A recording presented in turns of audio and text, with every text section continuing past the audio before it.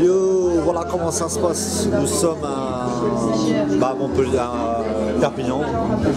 Et nous sommes euh, dans le restaurant, euh, le Bus Café. C'est un petit restaurant qui est dans le centre de Perpignan. Je suis toujours avec euh, mon ami Fred. On attend 14 heures pour aller, pour aller au tribunal. Et puis en fin de compte, bah, pour 30 euros, on a bien branché. Voilà comment ça se passe.